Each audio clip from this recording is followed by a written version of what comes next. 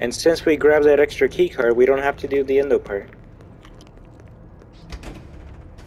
Freddy, I found him can you hear me? locked him up. Freddy's in there.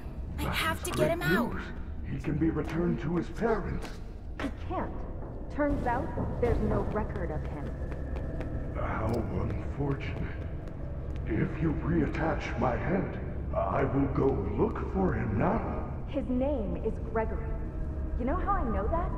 His Fazwatch kept repeating it in your voice. Gregory, are you there? Gregory?